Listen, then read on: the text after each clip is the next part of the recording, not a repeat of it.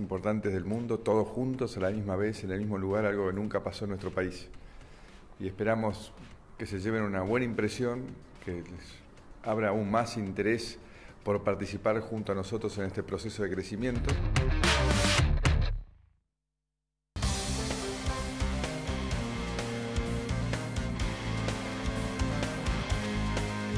Hola, ¿qué tal? Buenas noches. Veíamos eh, antes la llegada de Donald Trump, ahora un poco lo que ha sido eh, la primera jornada o el inicio de eh, la reunión del Grupo de los 20 que se está realizando en Buenos Aires. En verdad, las deliberaciones van a empezar mañana, pero la verdad que Buenos Aires ya, eh, o la ciudad particularmente, ya ha sentido el impacto de la presencia de tantos presidentes de primer nivel en términos de medidas de seguridad y de restricciones para circular. Uno se pregunta sobre la importancia de esto. Bueno, la importancia de esto en términos de vidriera para la Argentina es eh, muy grande.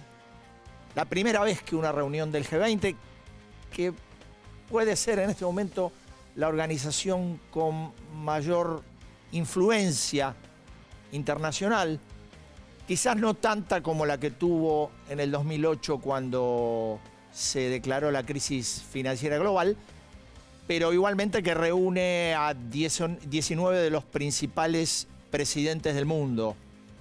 Digo que medidos en términos de cifras representan el 85% del PBI global, el 66% de la población del mundo y el 75% del comercio internacional.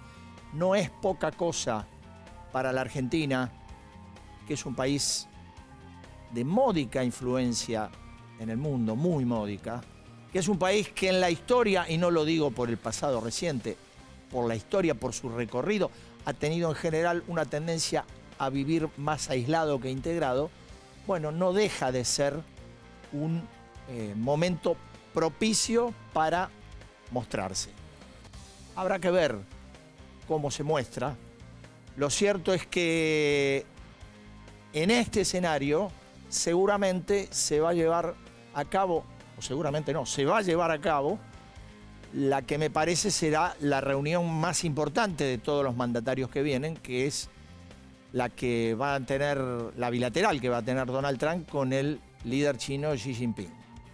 Hablamos de Estados Unidos y China, hablamos de la guerra comercial que hoy conmueve a todos los vínculos internacionales y a todos los intercambios comerciales. Y uno se pregunta, dada esta importancia y, dada la digamos, la vidriera de Argentina, que, que puede ser beneficioso para nuestro, nuestro país más, más allá de ser el anfitrión. Bueno, eh, habrá que ver en las bilaterales eh, algunas posibilidades concretas de inversión que algunos de los presidentes puedan hacer.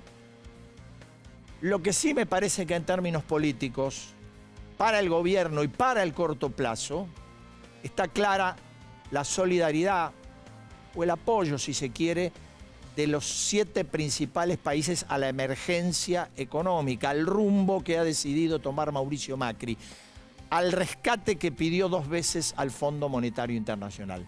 los siete mismos países que hicieron mucho, sobre todo Estados Unidos, para que el Fondo Monetario acudiera al rescate de una economía que había empezado a ser sacudida por la crisis financiera de mayo. Y el último punto, que más que una perspectiva de análisis, una recomendación, me parece que sería bueno no hacer interpretaciones en clave electoral de esto que empieza a vivir la Argentina en estos días, porque por muchas razones, eh, primero porque esto es una fugacidad, Segundo, porque las elecciones en la Argentina son el año que viene y hablar de un año a la Argentina es más que una eternidad. Tercero, porque claramente ninguno de los grandes dirigentes que van a estar aquí, ni sus representados, van a votar el año que viene. Con lo cual, cualquier conjetura me parece inútil. Estamos con Jorge Tayana y Jorge, y Jorge Castro. Jorge Tayana, ex canciller, Jorge Castro, analista y experto internacional, para hablar de este tema, para desmenuzar un poco el G20, la Argentina y la región. Me va a acompañar, me acompaña esta noche, como lo hace frecuentemente, Daniel Fernández Canedo. Por supuesto que no es el único tema. Está con nosotros Beatriz Arlo. Yo le agradezco especialmente a Beatriz que esté esta noche, quizás una de las últimas oportunidades en este último tramo de Código Político que empieza sus últimos programas. Y se lo agradezco porque durante el ciclo que compartí con Julio, periódicamente nos acompañó para ayudarnos a pensar. Y me parece que este es un buen momento para que esté de nuevo y para que otra vez nos ayude a ver un poco más allá, incluso de lo que significa la reunión del G20.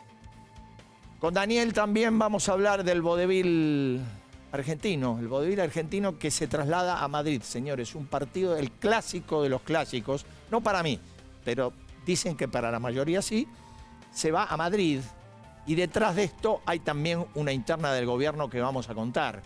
Y vamos a contar algo también de la nueva mirada del kirchnerismo, o si se quiere, de Axel Kicillof respecto de algunas cosas vinculadas al Fondo Monetario Internacional. Y vamos a hablar también de otras cosas de, de la economía que siguen preocupando. Vamos a un corte y estamos ya con Tayana y Castro.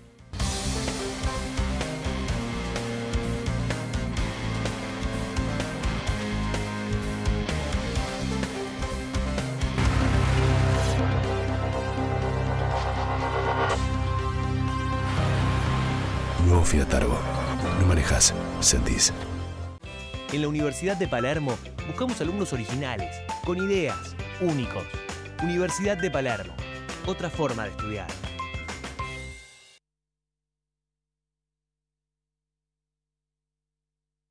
¿Está vendiendo su empresa y necesita recuperar capital a través de sus activos? Piense solo en el especialista, Adrián Mercado. Adrián Mercado Subastas, energía humana al servicio del cliente. Municipalidad de la Ciudad de Córdoba.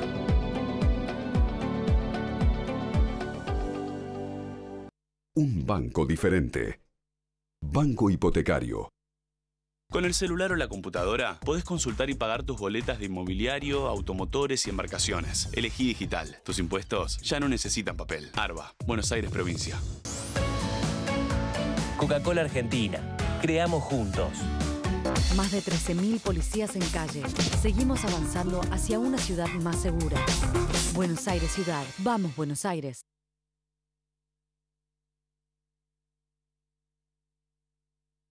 Mira los debates en vivo, entérate de cómo votaron los diputados y sumate a las actividades de la Cámara. Entra en diputados.gov.ar. Acero es desarrollo. Acero es Ternium. Mendoza. El viaje de mil viajes. Mendoza, Argentina. London Supply Group. Desde 1942, forjando el futuro de nuestro país.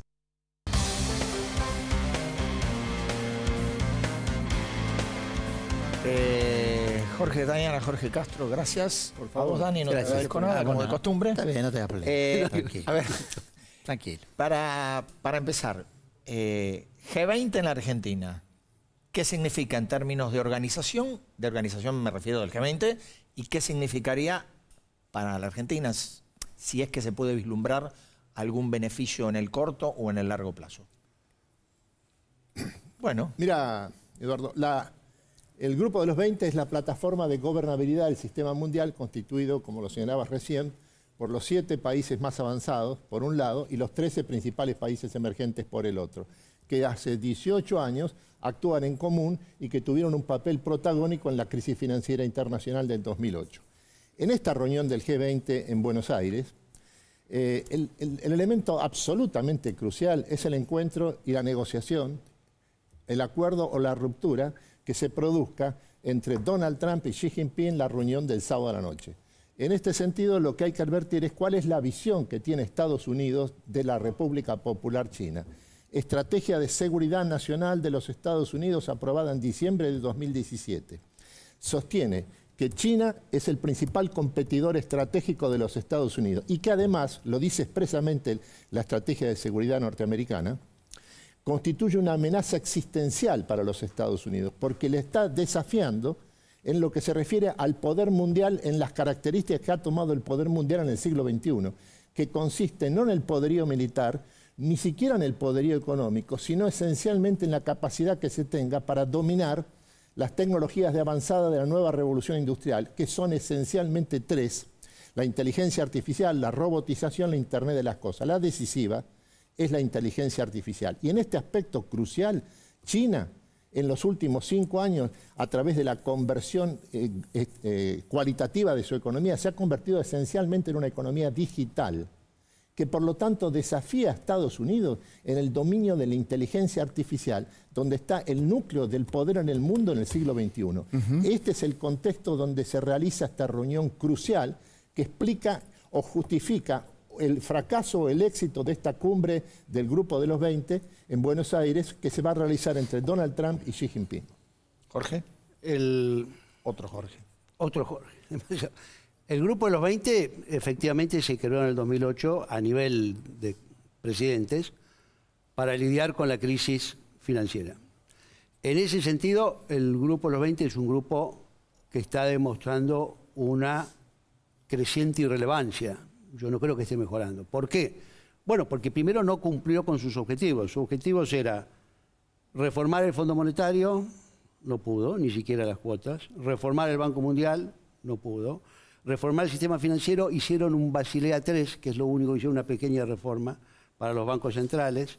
Este, y ponerle algún cascabel al gato al sistema financiero privado, alguna forma de limitar las transacciones especulativas, lo que se llamó la famosa Tobin Tax, no pudo, y este, parar con los este, paraísos financieros, que hicieron una especie de acuerdo, impulsó mucho a Alemania, hicieron algo en lado de casi nada. O sea, de los temas, de los temas financieros para que estaba, o sea, tratar de evitar que se repita otra crisis financiera y parar la financiarización de la economía, no lo ha logrado. En otros temas está en crisis porque hay diferencias. El, tema más obvio es el tema del cambio climático. Estados Unidos el año pasado no, no quiso aceptar nada. Este, creo que ahora estamos mal con el tema del cambio climático.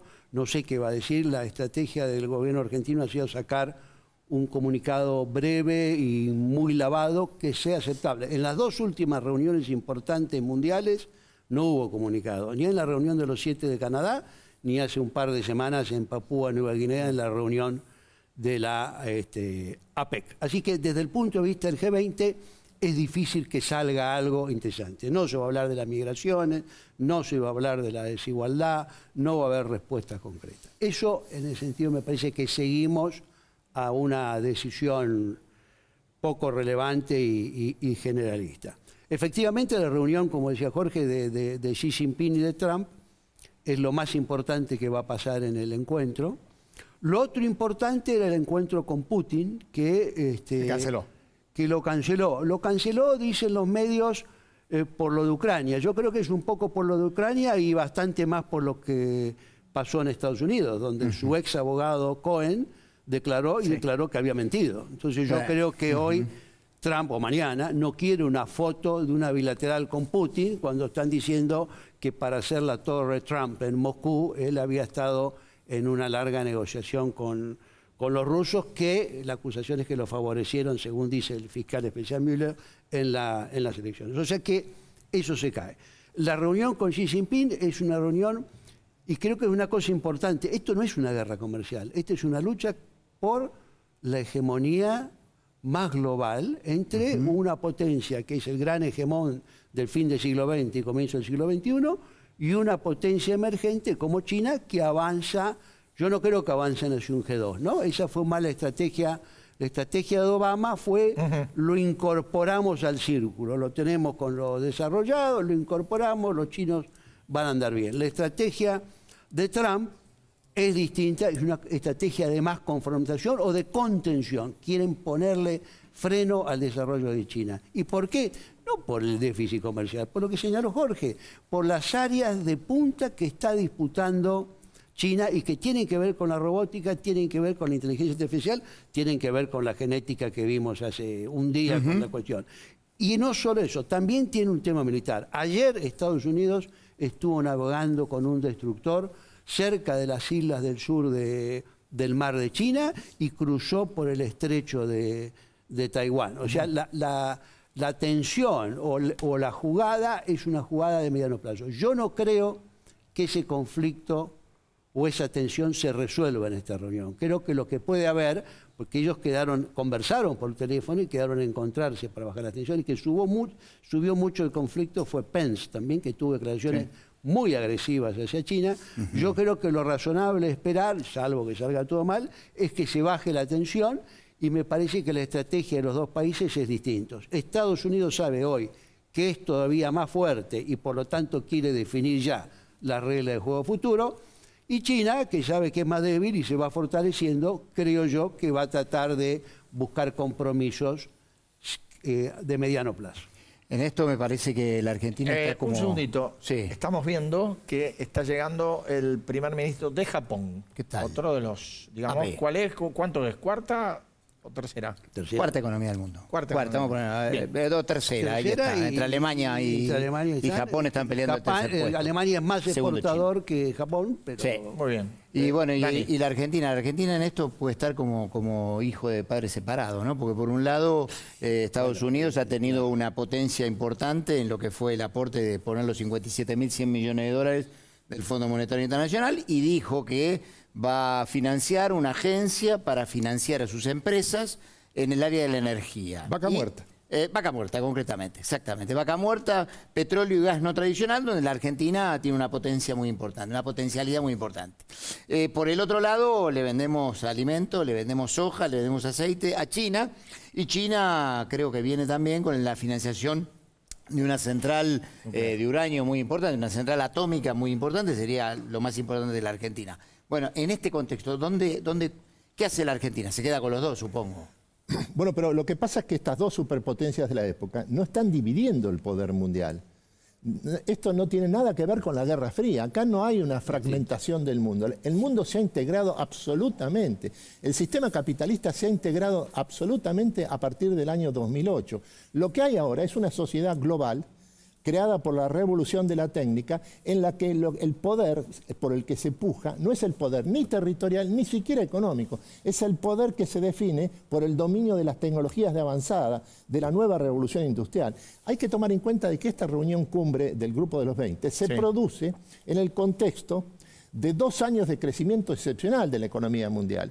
Es un crecimiento de nuevo tipo, es un crecimiento coordinado, que abarca tanto los países avanzados como los emergentes y que es de orden interno, de carácter endógeno. Lo que esto significa que está en marcha en el mundo una nueva revolución industrial. Esto, la nueva revolución industrial no es lo que viene después, es lo que está ocurriendo ahora. Y los dos principales países en materia de nueva revolución industrial son Estados Unidos y China.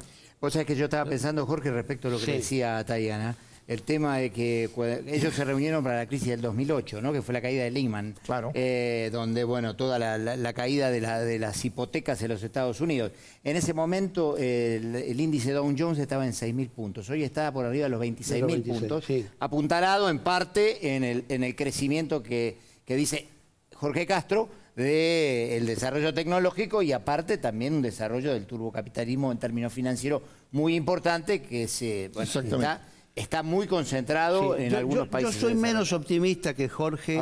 Efectivamente estamos en una gran revolución, estamos en la cuarta... Y bueno, este, lamentablemente la realidad suele darme la, razón.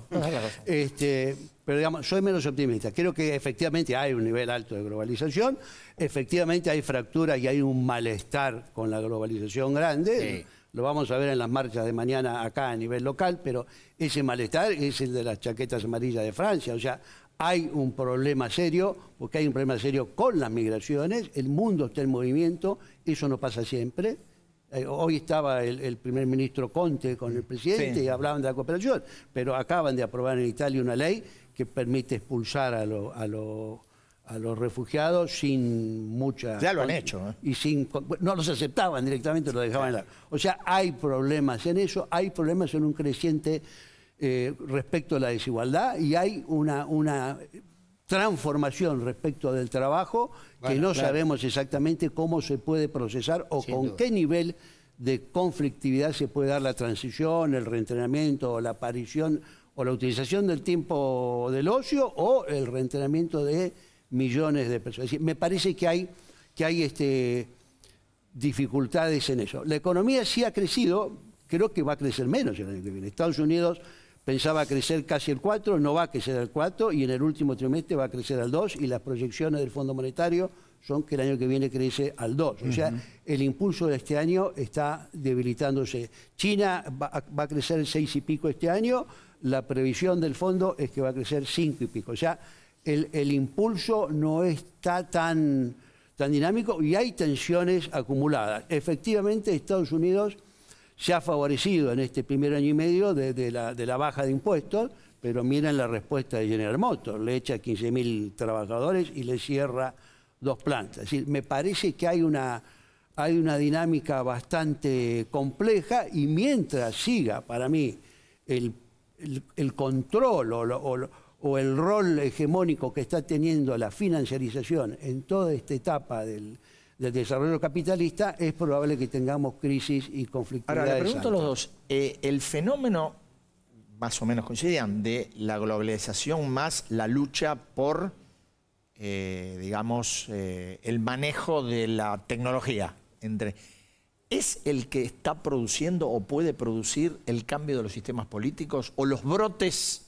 inesperados de los sistemas políticos? No, Yo creo que lo- yo coincido con- en este sentido. El sistema capitalista es un sistema profundamente contradictorio, especialmente es cada vez más contradictorio cuando adquiere una dinámica cada vez mayor. Y como en este momento está, es, un, es un sistema capitalista que está turbo eh, generado, entonces la- las contradicciones del capitalismo son cada vez mayores y cada vez más graves.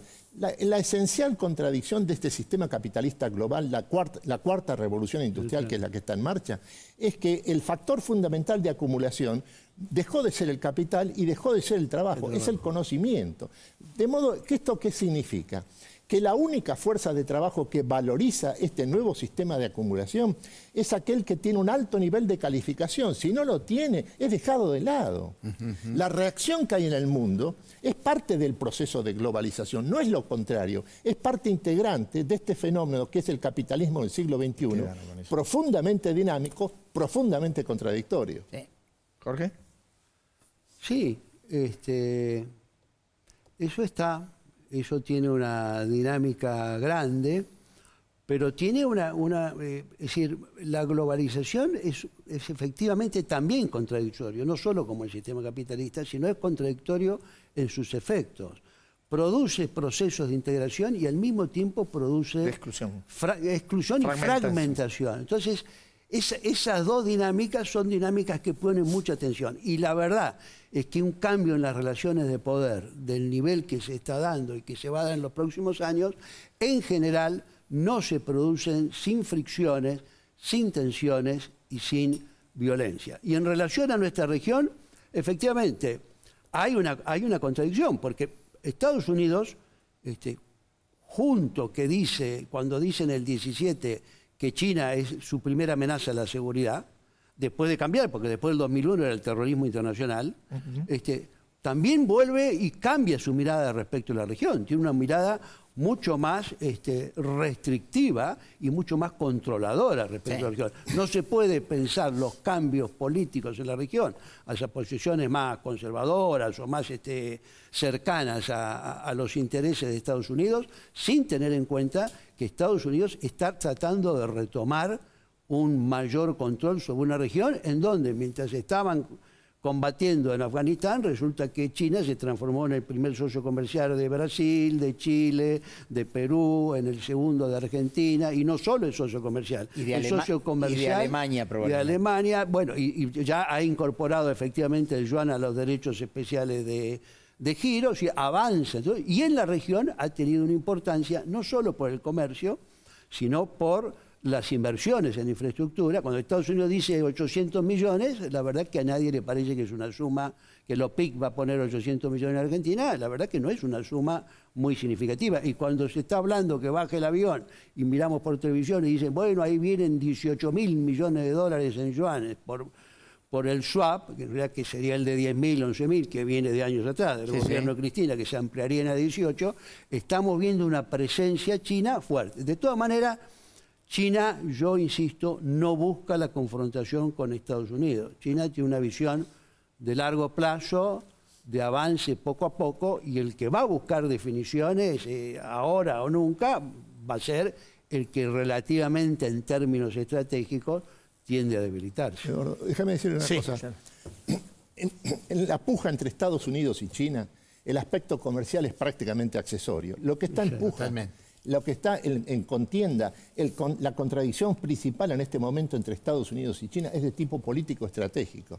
Se refiere al poder mundial. Estados Unidos ha recuperado el liderazgo mundial los últimos dos años, que había perdido en el 2008. Ahora tiene, como tiene la primacía, quiere, también tiene la iniciativa. En este momento la respuesta de China sigue siendo una respuesta secundaria frente a la ofensiva norteamericana.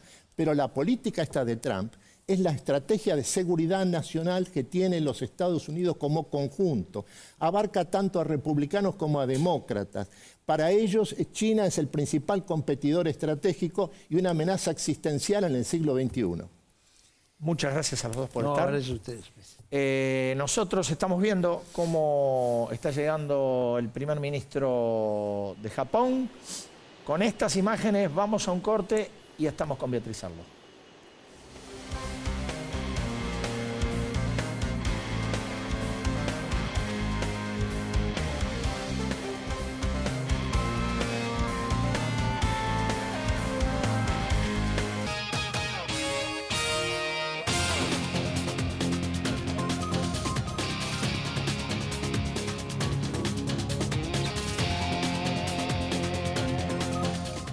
Y aquí estamos viendo, eh, mientras nos espera Beatriz Arlo, estamos viendo la llegada de la Premier de Gran Bretaña, Teresa May, en este momento. Ahí está el Federico Pinedo, el presidente provisional del Senado. Eh, la primera visita, podemos recordarlo, se trata de la primera visita de una primer ministro británica mujer, claro, estoy hablando, desde la Guerra de Malvinas. Estuvo en, el 2001, estuvo Tony Blair en una reunión que se hizo en Iguazú eh, junto a Fernando de la Rúa y Fernando Enrique Cardoso.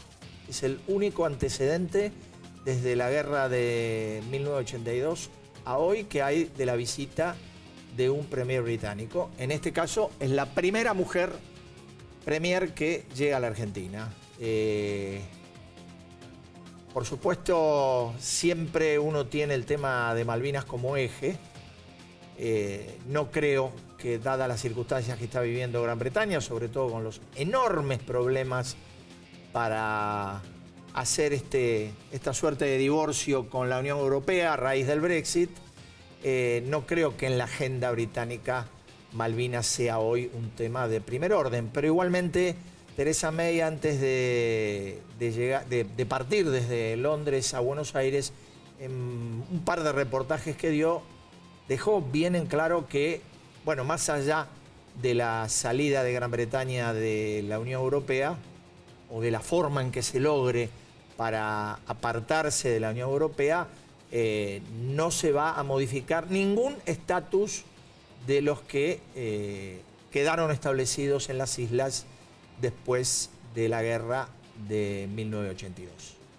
Eh, también es cierto que es muy probable que la Premier intente avanzar sobre cuestiones que, eh, bueno, que tengan que ver con posibles sistemas de cooperación en esa región, vinculados a la pesca, vinculados a la energía. Habrá que ver.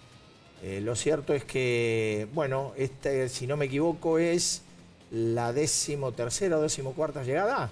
Si me, lo corrigen o me lo certifican, estoy más tranquilo. No, no, perdí la cuenta después de Donald Trump.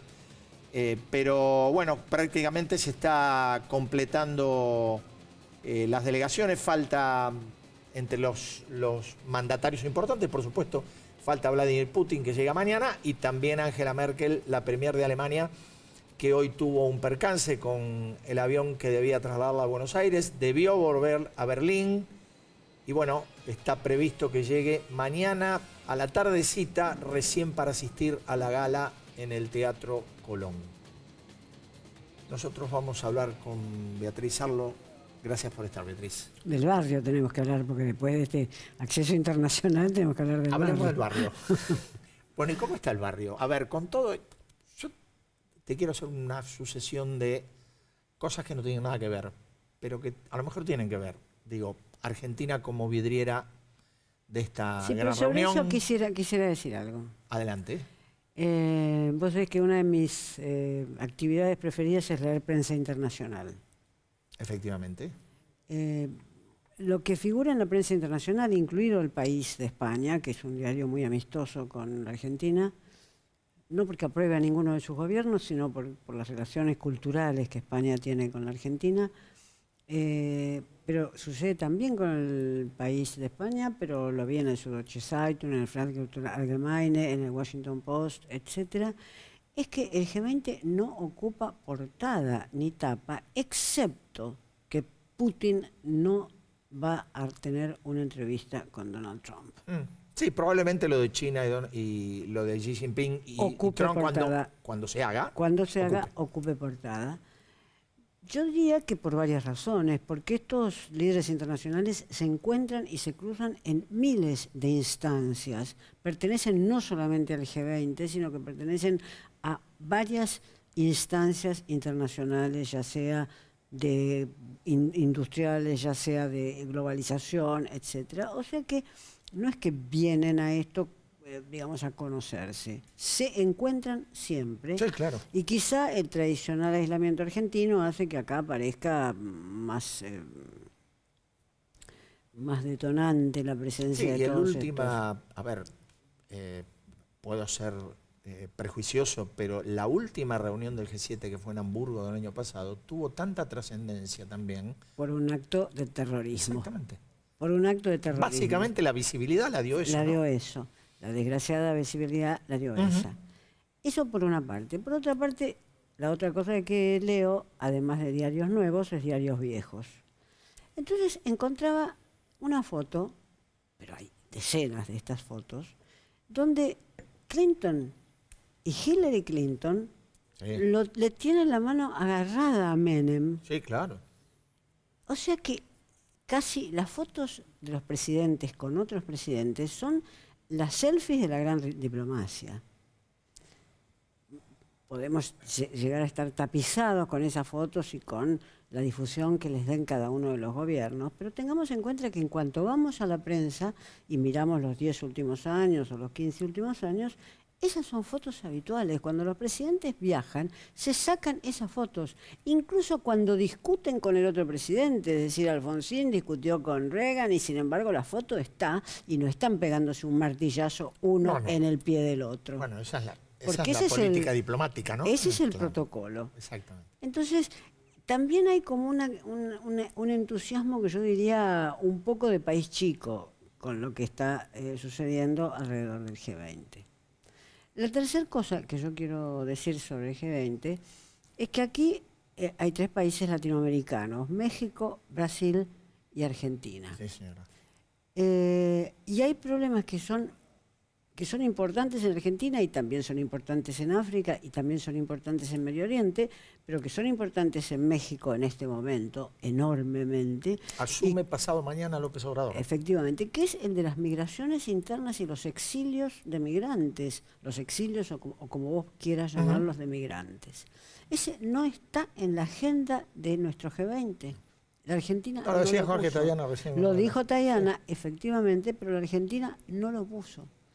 A lo mejor tenemos que esperar que Merkel, que fue la única gran política internacional que permitió que entraran los sirios que huían de Oriente, que entraran a Europa, tenemos que esperar que Merkel venga a darle a Trump eh, lecciones sobre cómo se reciben a los migrantes. A lo mejor es Merkel la que va a dar esa lección si consigue pasajes este, eh, para llegar a la Argentina más rápidamente, porque su avión estuvo descompuesto. Entonces, ¿cómo un, un problema que es fundamental? Brasil ya lo tiene, porque están, est- lo tuvo en los últimos meses, Sí. el ingreso de los venezolanos este, a Brasil, lo tiene Colombia. Eh, se están produciendo situaciones de violencia, ha habido muertes, y esa gente baja hacia el sur y nosotros nos tenemos que hacer cargo del drama de la vida de esa gente. Eso no figura en la agenda de nadie, en la agenda de ninguno de esos tres países. Entonces digo, sí, está muy bien el G20, bárbaro, este, es un gran festival donde los mismos acuerdos se hubieran podido firmar en otras instancias. Los acuerdos bilaterales, cuando dos presidentes deciden firmar un acuerdo bilateral, ¿Me, lo me disculpas firman. un segundito? Te interrumpo. Eh, Norberto Dupeso, N6, está llegando Teresa May. Adelante, Norberto. Gracias, Eduardo. Efectivamente, Teresa May ya se encuentra en la Argentina, está bajando precisamente del avión de la Real Fuerza Británica. Eh, lo hace sola, es recibida en la alfombra roja por el presidente eh, en funciones provisional del Senado de la Nación, Federico Pinedo, y ahora eh, por el embajador Raimondi, secretario de Relaciones Exteriores. Ha habido mucha movida aquí en el aeropuerto en estas últimas horas, no solamente con la llegada de Trump, sino también con el eh, presidente de Japón. Y eh, por supuesto, eh, ahora estamos aguardando esta última visita de Teresa May, que prácticamente comparado como estuvo el aeropuerto, esa plataforma, a un costado de la posición 17, prácticamente está desolada en comparación de lo que era hoy. Teresa May ya se encuentra en la Argentina y obviamente es esta primera ministra británica eh, importante. Una mujer que ocupa el cargo de primera ministra británica tras Margaret Thatcher, también conservadora, que ocupó el cargo en el 79 y el 90. Bueno, eh, simplemente ya se encuentra en la Argentina, con esto completamos las llegadas de los primeros mandatarios en el día de hoy, por lo menos aquí en el Aeropuerto Internacional de Ceiza. Eh, Angela Merkel tuvo inconvenientes, por eso está llegando mañana a las 17.55 en un avión de línea en Iberia. Y eh, mañana, 7 y cuarto, 7 y media de la mañana, Putin estaría aquí en la Argentina ya para incorporarse a la reunión del G20. Eh, gracias, Norberto. ¿eh? Muy bien, hasta luego, Eduardo. Eh, seguimos con Beatriz Aldo. Estábamos. Entonces ahí. Me quedé colgado, perdón. bueno, yo también, porque estaba mirando la llegada de May. Eh, a ello lo que más bien rescataría es una perspectiva histórica. La Argentina fue un país aislado, las dictaduras militares lo convirtieron en un país aislado. No fue de ninguna manera un país aislado en las tres primeras décadas de este siglo. Argentina fue el, como dijo Alvear en un discurso, fue el aliado fundamental de Gran Bretaña, cuando Gran Bretaña era Estados Unidos y China juntas. Es decir, no tenía que competir con nadie, tuvo que empezar a competir después de la Primera Guerra, pero hasta la Primera Guerra no competía con otra gran potencia. O sea que también se produce como un achatamiento. Siempre fuimos aislados, siempre fuimos chiquititos, siempre nos faltó calcio. Bueno, no, eh, examinemos cuáles fueron l- Los periodos. los periodos en los cuales sucedió. Digo, para quitar un poco este, este ambiente un poco de cotillón que tiene esto. Y tiene. Eh, y tiene, bueno, está bien. Está, No, está digo, pero- está divertido. A ver, me parece. eh, vos decías algo, voy, voy a utilizar un término vulgar, algo de ombliguismo en esto de creer que es lo mejor que está ocurriendo en el mundo o lo más importante. También hay algo en nuestra génesis de, de- de vernos de esa manera, ¿no? Digo, y no solamente en el, en los- en el orden político. Y sí, nos ha ido tan mal después de, ver, después eh, de, de 1920. No, bueno, pero digo, es- mm, te, te corro un tema que no tiene nada que ver, pero que tiene que ver. Digo, eh, hace un mes que estamos hablando del partido más importante del mundo. Y no es el partido más importante del mundo, es un partido muy importante para la Argentina. Pero si lo que se va a jugar en el mundo o en otra parte del mundo porque no se puede jugar acá, nada más que por eso. Y si lo fuera, tampoco debería. No, no, del presidente de la República para abajo, No, excepto, bueno, excepto bueno. que Angelici es un hombre del el presidente en el la presidente justicia. tiene pero- algunas pasiones descontroladas, está claro. Eh, digo, que esta semana, en la previa del G20, le preocupara tanto si el partido se jugaba fuera de la Argentina o en la Argentina, yo entiendo que como imagen y, y jugar un partido de River Boca en Madrid es medio ridículo, pero había cosas más importantes, ¿no? Sí, supongo que en Doha se debe sacar más plata. Digo, la Conmebol debe estar haciendo sus cuentas. no, no hay si en vez del, del Bernabéu es Doha, este, se debe sacar más plata seguramente para ver todas las estrellas de esos dos equipos, seguro. Este, sí, efectivamente hay un proceso en el cual de, de sentirnos realmente un país de segunda, de segunda en, en la línea, no de segunda categoría, No, no, sino no, en la línea, claro. eh, empezamos a darle dimensiones a cosas que no las tienen de ese modo, sin poder solucionar los problemas que otros países donde, donde el fútbol es muy importante solucionaron, porque los ingleses no tienen más hooligans. No. ¿Ahora qué hicieron? ¿Los mataron? No. No. No hubo un solo hooligan muerto, no hubo cadáveres de hooligans, ni guerras entre hooligans para que se liquidaran unos al otros. Bueno, pues, a ver, también es cierto que los casos son distintos. Digo, los hooligans claramente estaban fuera del sistema. Los barra brava están dentro del sistema. Más bien, Forman parte los de. par- los casos son Yo distin- sí. podría, y no lo voy a hacer porque es antipático, pero podría dar los nombres de los cinco principales dirigentes políticos en este momento, incluido el presidente, Tal cual. y que no me digan que no han tenido o tienen algún vínculo con alguno de esos grupos. Bueno, el presidente fue presidente. Fue presidente Bueno, ya lo sabemos. Yo, Este, yo no, no, sin no, duda. no voy a, a- Pero, pero eh, evidentemente uno no, no imagina el Partido Laborista inglés, ni el Partido Conservador, ni el Partido Liberal, este, teniendo barras que los defiendan. Y, si- y sin embargo, cuando se produce un cambio de, directi- de dirección en un club, uno ya pregunta, che, ¿para dónde va a ir la- nuestra barra? Aún en clubes muy pequeños, que son aquellos de los cuales yo puedo enterarme. Aún en los muy pequeños. Ahora, eh, lo que vimos los últimos días eh, y toda esta locura alrededor de un partido de fútbol, ¿qué, qué representa? ¿Qué puede estar representando? Porque Uno, la verdad que a veces hasta se le escapa la capacidad de, de traducir algunas cosas. ¿no? Yo creo que... Uno habla sociedad inculta, sociedad enferma, pero la verdad que cuesta, cuesta precisar un diagnóstico. Pero no está mal eh, aquellos que intervinieron diciendo que esta sociedad está crecientemente violenta. No está mal aquellos que No, es que está. ello. Está, y esa violencia está también en las capas medias, pero por supuesto que se siente mucho más, más abajo. 40% de los jóvenes y niños de este país son pobres. 40%. En cualquier momento llegamos a la mitad. 40% de los jóvenes y niños son pobres. Esto quiere decir que no tienen acceso a cloacas, no tienen acceso a, a comida suficiente, no tienen acceso a una escolaridad que les sirva para nada. Esto quiere decir eso. Un porcentaje alto de esos chicos nacen de madres que tienen 15, entre 15 y 18 años. Es decir, que la vida de esos chicos ya está liquidada en el momento de su nacimiento, así como la vida de su madre, y como posiblemente esté liquidada la vida de su abuela, que debe ser una abuela de 30 o 35 años. Este es el país que se está construyendo en Argentina. Este es el país que personas viejas como yo no pensábamos que íbamos a ver. Eso no pensábamos que lo íbamos a ver. Decíamos, bueno, Argentina y Latinoamérica. Decíamos, un gesto Sí. de orgullo que después nos cobraron los brasileños con entera razón, etcétera.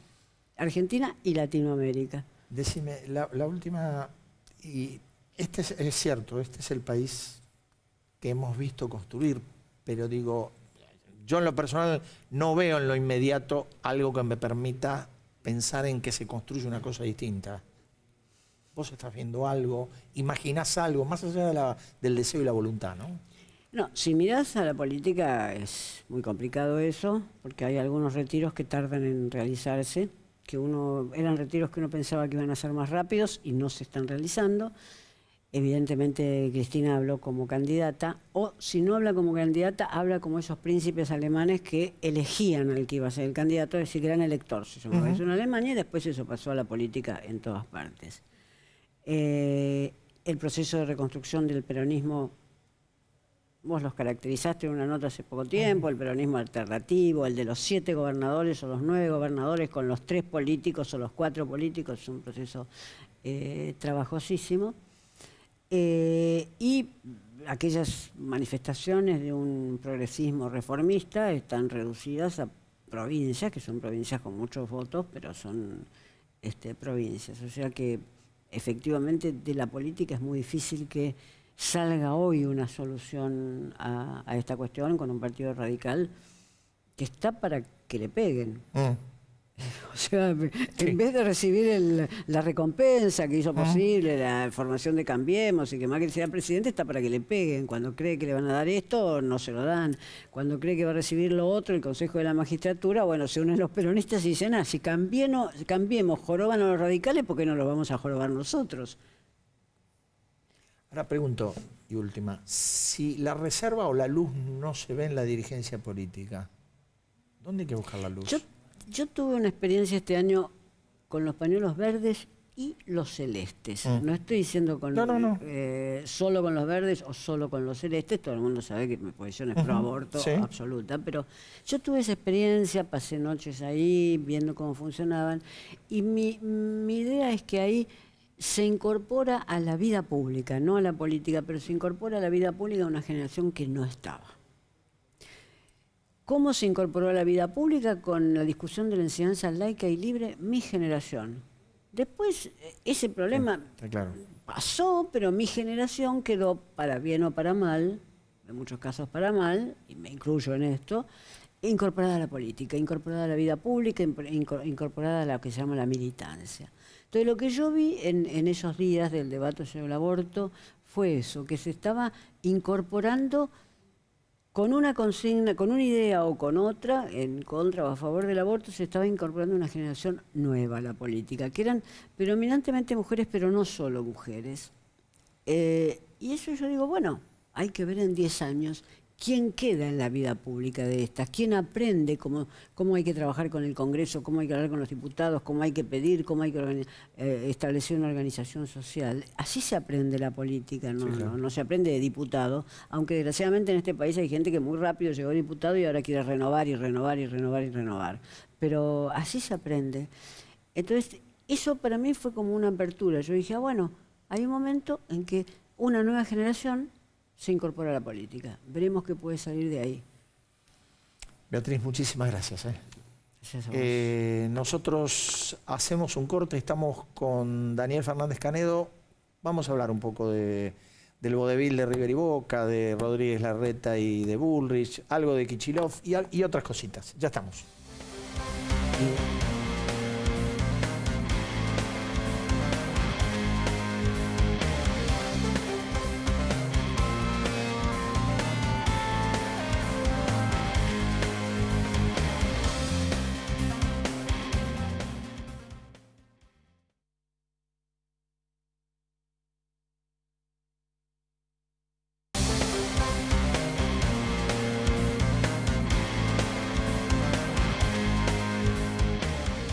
estamos de vuelta. Estamos. Daniel, vamos a hacer rapidito Lo que usted diga. el picado fino.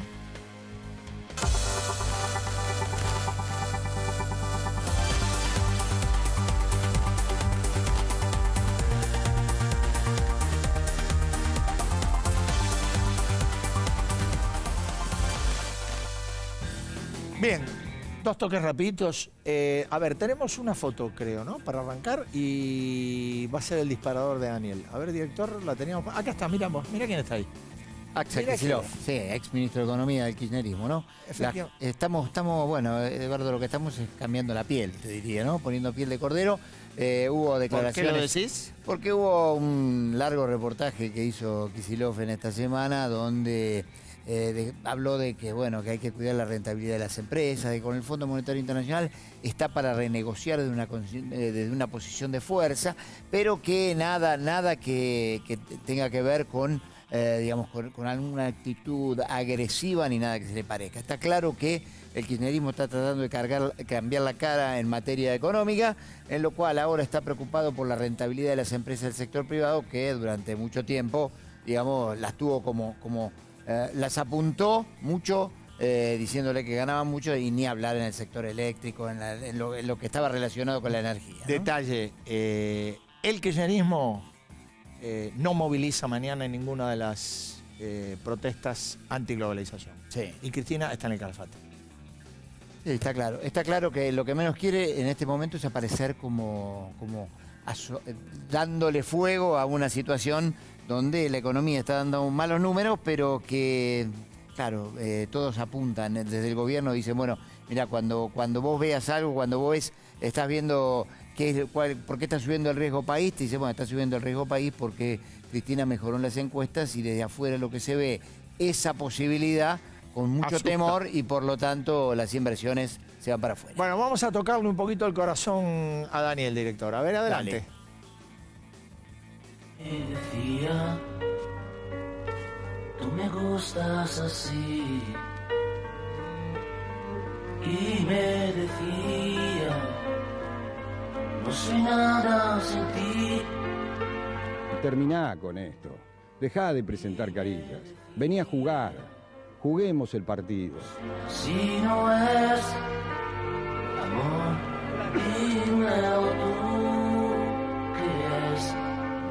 No aceptamos el día de la fecha jugar ningún partido. Ni Alberto Migré pudo imaginar semejante telenovela. En una semana, el culebrón de la superfinal pasó por alegrías y tristezas, fanatismo y vandalismo, amores y desamores, distintas locaciones, reuniones y contrarreuniones, caprichos, papelerío y suspensiones. Que le den la Copa a River, que tiene tanto peso en la Comebol que no hacen nada. Se la den a River, que River haga lo que se le canta. Este presidente había tomado la decisión junto con su comisión directiva de hacer la presentación pidiendo la calificación. No inventemos. Vos firmaste conmigo. Vos me diste tu palabra. Al presidente de la Comebol y a mí. No le hagas caso a lo que te están diciendo que tenés que hacer esto. La telenovela de los mil capítulos se está quedando sin rating, pero justo ahora Boca lo quiere jugar y el Santiago Bernabéu parece que sería el lugar. este partido se va a disputar con ambos, con ambas hinchadas, en la ciudad de Madrid, en el estadio Santiago Bernabéu.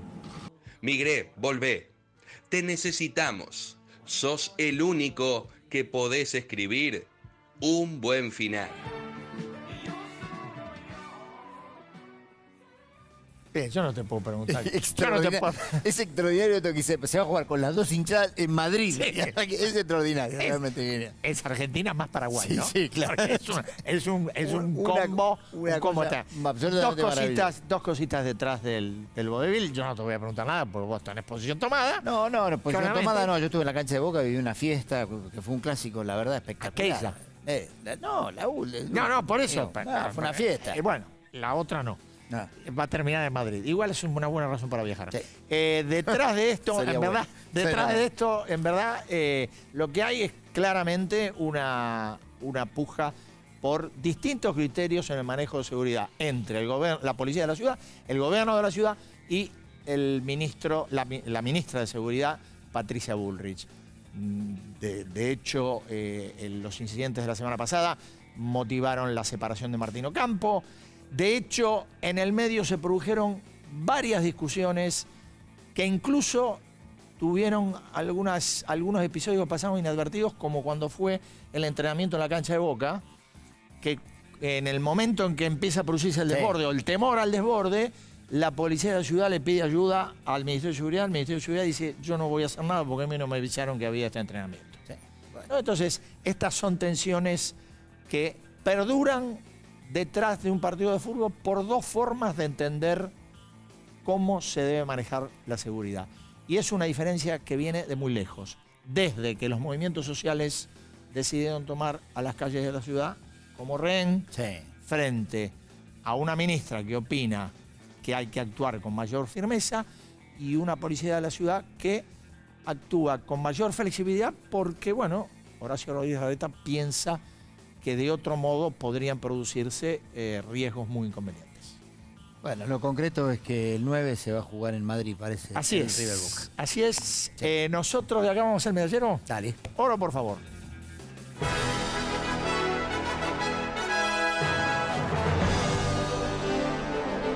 Y bueno, la medalla viene cantada. Un hombre que acumula poder. Lo- se la dimos antes, sí, que hace poco, ¿te acordás? Sí, Bueno, sí. ahora Diego Santilli, vicejefe de gobierno porteño, eh, se tuvo que. Sí, lo que no sé, lo que no sé es de que se ríe. No, yo no sé de qué se ríe. En la producción foto, una foto, Claro. una foto paradójica, Claro. pero no importa. Eh, eh, Diego Santilli es viceje- vicejefe porteño, ahora se queda también con el cargo que tenía Martín Ocampo, que se tuvo que ir. Hombre Sí. de Angelis, hincha, hincha de River, que se tuvo que ir de su lugar. Y bueno, queda Diego Santilli, tiene más poder. Yo no. Hincha de River, obvio. Hincha de River. Yo no desearía tener lo que tiene él, pero pero ya está, ya está, se juega en este ranking vale oro. Plomo, por favor.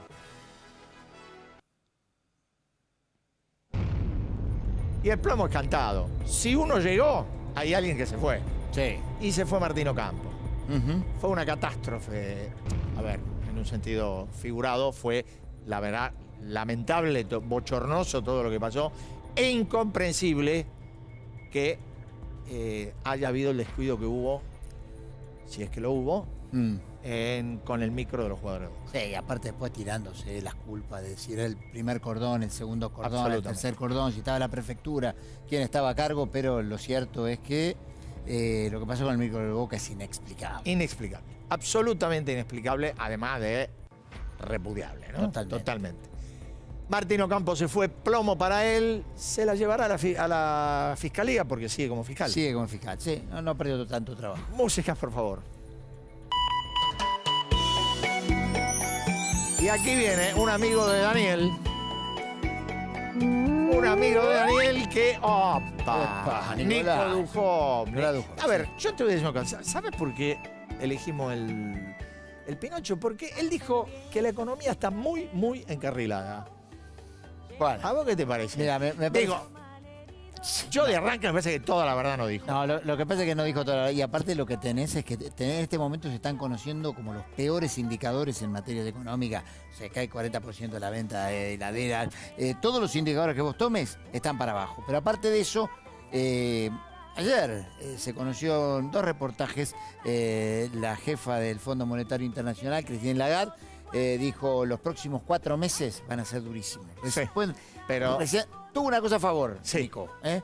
que terminó después de un respingo fuerte del dólar en el comienzo de la semana, hoy terminó bastante más tranquilo y pueden respirar en esto de que dólar tranquilo calma los ánimos de políticos y no políticos. Pero como no dijo toda la verdad, le damos el Pinocho, se lo va a llevar, ¿sabes a quién?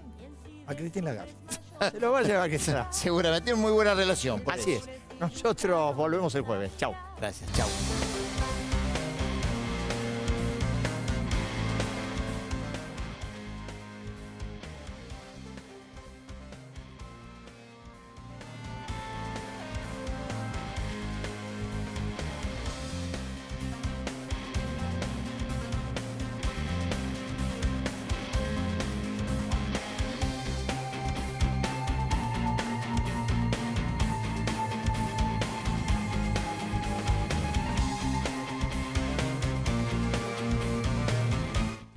Desde 1942, forjando el futuro de nuestro país.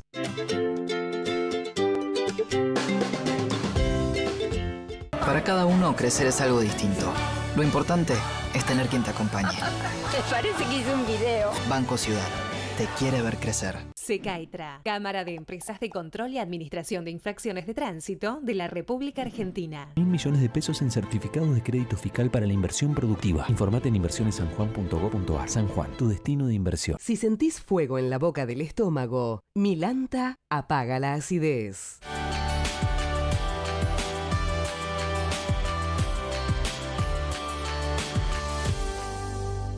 ...20 años de Pan American Energy. Hacer las cosas bien es la mejor manera de hacerlas. Si vivís en Vicente López, ante un hecho de inseguridad o emergencia, llama al 109, un número rápido y gratuito. Acero es desarrollo. Acero es Ternium.